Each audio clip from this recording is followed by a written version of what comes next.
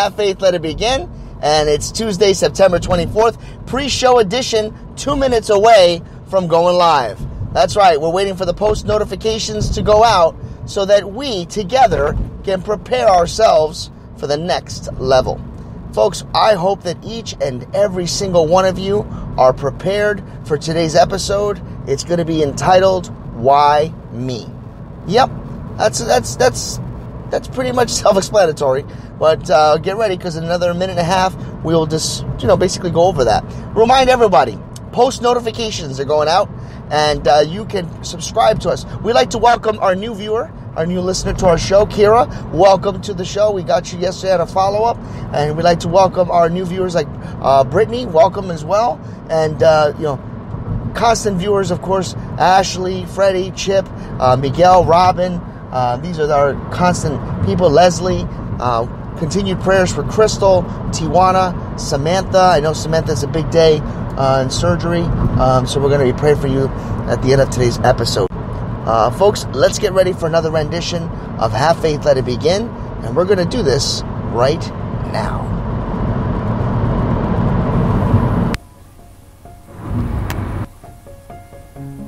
On June 16th, 2018, I launched this show.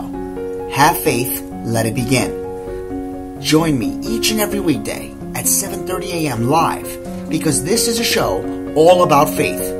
Motivational topics, inspirational stories, personal testimony designed for you, the daily commuter.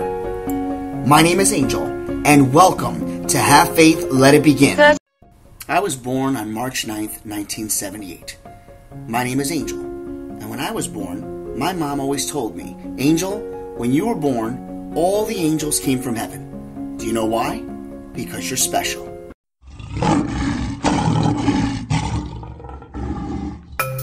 Are you looking for something different? Are you driving to work every morning and saying to yourself, hmm, what could I do to pass the time? Well, here's a show for you. Weekdays, Monday through Friday. Have faith, let it begin. It is a show designed for you, the daily commuter. Motivational topics, inspirational stories, personal testimony set out to change the world. Join us every morning live at 7:30 a.m. because this is a show all about faith. My name is Angel and welcome to Have Faith, Let It Begin. 10 seconds to go. 8 7 6 5 four, three, two, one.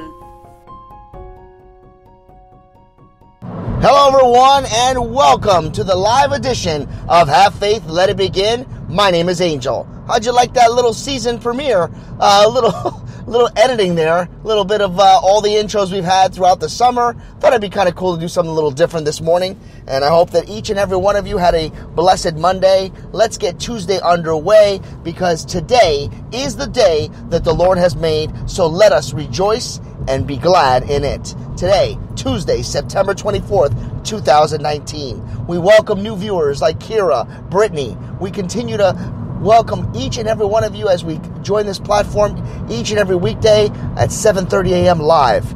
Today's episode is called "Why Me," and you're probably asking yourself, "Well, why me?" Well, let, let me get a little bit more detailed as to why I picked that title this morning. As I was walking Cody and Ariel this morning um, on my daily walk, this you know, to I walk uh, Cody, um, I'm seeing high school kids prepare for the bus, and I hear a lot of the comments I don't know why this always happens to me. I don't know why this.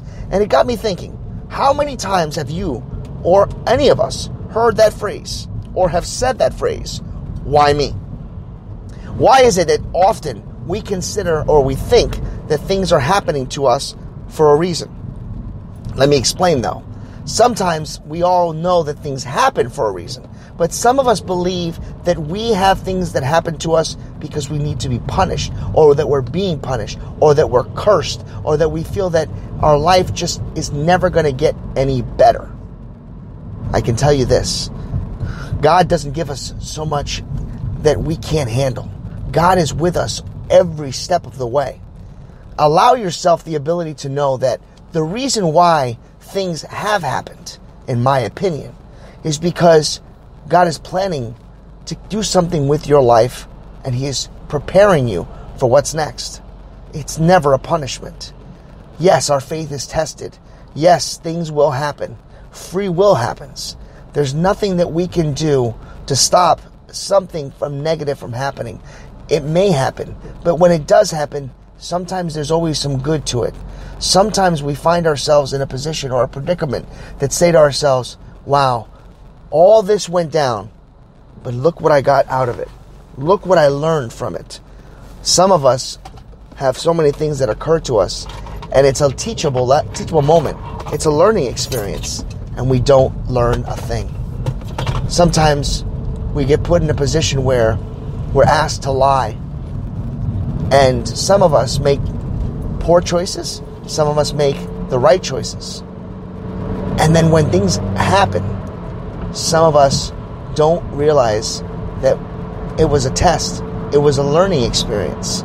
And unfortunately, too many of us fail the test because we continue to do what we're asked not to do.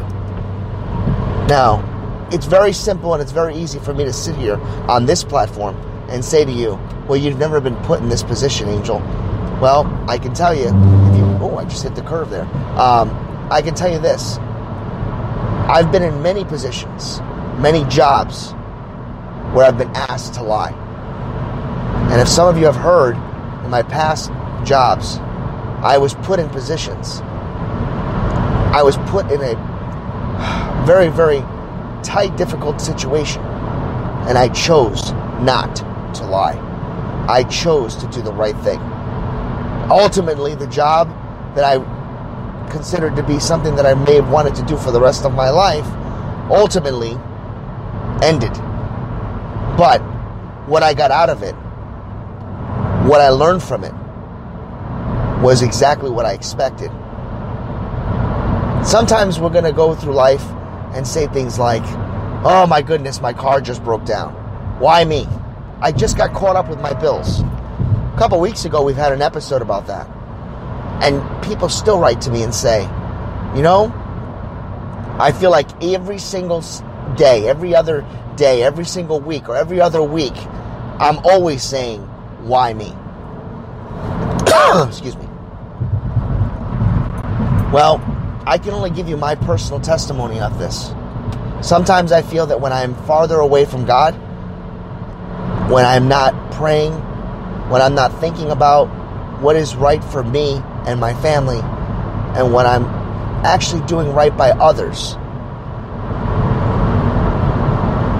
that's when I realize I have to take three steps back before I can take three steps forward. Sometimes we pray to God and we ask Him for forgiveness. We ask Him to understand, ask Him to show us and lead us on the right path. And you wait for this path to appear.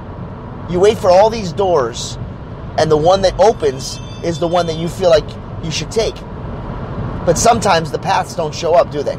Sometimes those doors don't open, but yet you find yourself in a sea full of doors, and you have no idea which one to open, which one to choose. When you hear the voice of God tell you, don't choose that, don't do that, that little thing in your head that you hear, I believe that is the voice of God. I believe that is the Holy Spirit telling you what to do. Trust your instincts. Rely on your gut Rely on your upbringing. Remember not to allow anyone to steer you in the wrong direction. If you feel like you're in a position at work where you're not doing all that you can or living up to the statutes or the standards that you should be living by, meaning that you believe in, then maybe it's time to take a stand. Maybe it's time to realize that the decisions that you're making are not the right ones. I felt that way many times. And every time I realized that what I was doing was wrong, when I finally took a stand, I find that my life continued to get better and better. Now I'm at a position where I will never allow myself. Let me rephrase that because I can never say never, right? But I'm doing everything in my power to make sure that I take a stand and I do not allow myself to do things that I know are wrong. Why me? I have turned that phrase into something different. Now, when I say why me, I say, thanks God for making me. Thanks God for choosing me. Praise God for having me.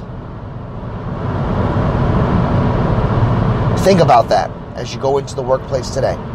Think about that as you drive home, or as somebody cuts you off, or as somebody ticks you off, or if you get home and you realize there's 20, 30 bills stacked up.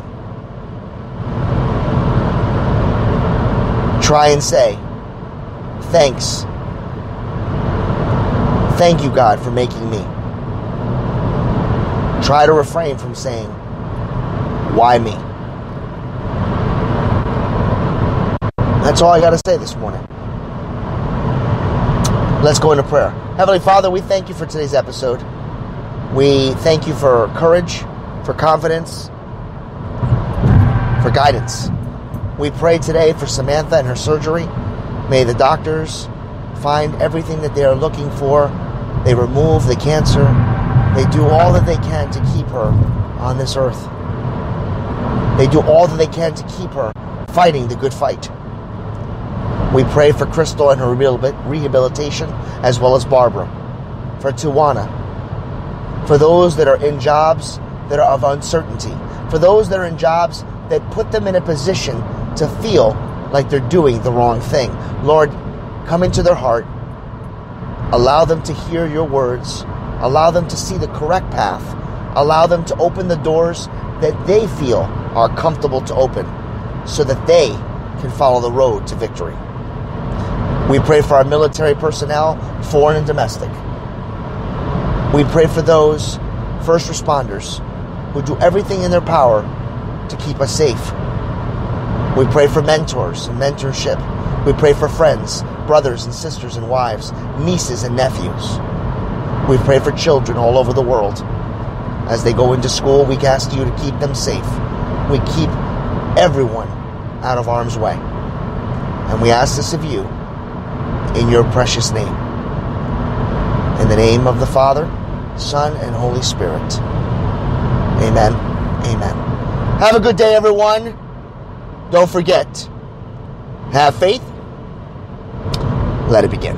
Thank you for listening to another episode of Have Faith, Let It Begin. That's right, Ariel. We're done with another show. And it's always great to have this show with you, my love. You know, we're going to encourage each and every person to listen to our show every single weekday. That's right, you and I are going to help change the world. Do you think that you can do that for me? Huh? Yeah, you know you can. She does. We want to let you know, and it, yes, we encourage you to listen to our show each and every weekday, and it's going to be live at 7:30. Make sure you're subscribed to our show. Make sure you get ready, fasten those seatbelts, because Ariel and I and my family are going to bring you a new topic, a new story each and every day, right? Isn't that right, Ariel? Yeah. And we impress. She's smiling at me. Guys, enjoy your day.